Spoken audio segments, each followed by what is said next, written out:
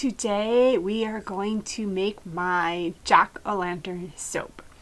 It overall looks like it's a fairly simple soap to make and it is. It just involves a lot of parts. So you can see off to the top left that my pumpkin embeds are sitting there waiting to be embedded into the soap.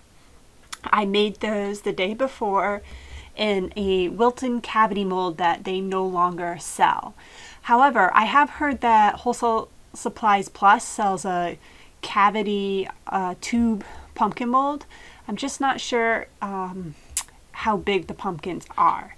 So anyways, I made all these pumpkins and now I am embedding them into a batch of soap. So the soap itself is pretty simple. It is pumpkin spice. I didn't add any color. The fragrance will discolor it a little. Oh, you can see what the color is. It won't discolor much darker than that for this scent. I made a second batch of this in pumpkin eggnog and you'll see later in the video when I'm doing the stencil that that one definitely gets even darker.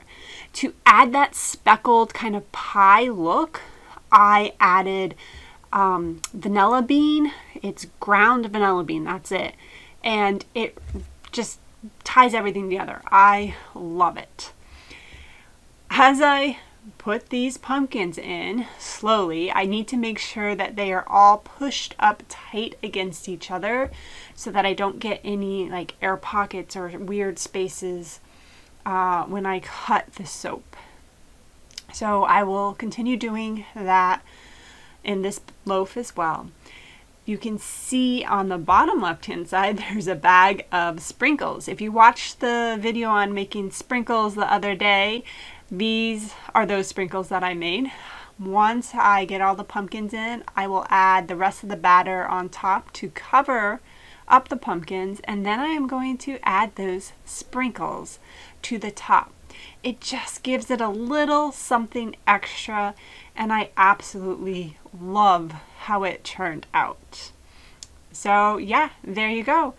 That is the base part of the soap. Then the next day I will cut it. I don't have a cutting video, sorry, but I do have a stencil video.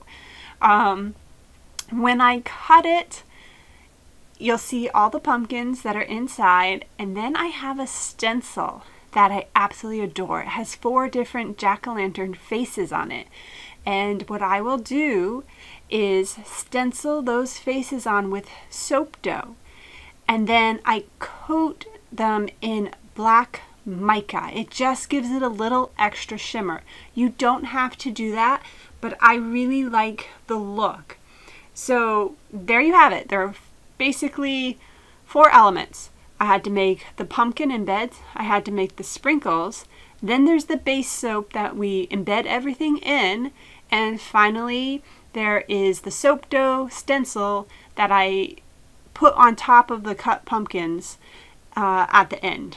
So yeah, you can do this. It's not hard to do, just takes a little bit of time and planning to do.